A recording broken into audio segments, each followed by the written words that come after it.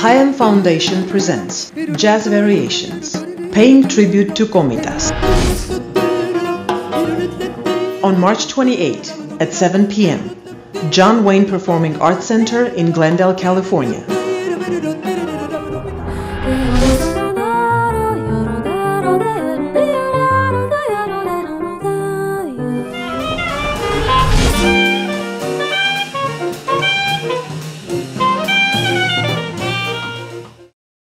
Be there.